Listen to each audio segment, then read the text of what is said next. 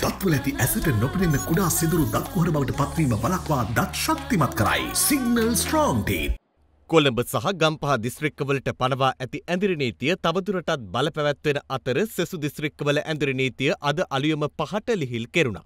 ඒ අනුව අද සිට මැයි විසිතුන් වන සෙන්සුරාදාතෙක් එම දිස්ත්‍රික්කවල ඇඳිරි නීතිය ක්‍රියාත්මක කෙරෙන්නේ රාත්‍රී අටේ සිට අලියම පහ දක්වා පමණයි.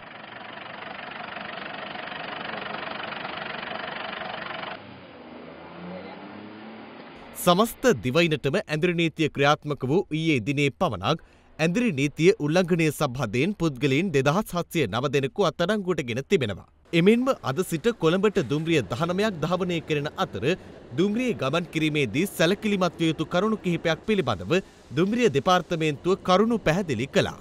පුද්ගලික සහ රාජ්‍යංශයේ රාජකාරි සඳහා එන මගින් සඳහා පමණයි මෙම දුම්රිය වෙන් කරලා තියෙන්නේ. පුද්ගලික සංචාරයන් හෝ නෑදෑයෙක් ගෙවල් වල යෑම සඳහා දුම්රිය ස්ථාන වලට ඇවිල්ලා ආපහු හැරලා යන්න එපා.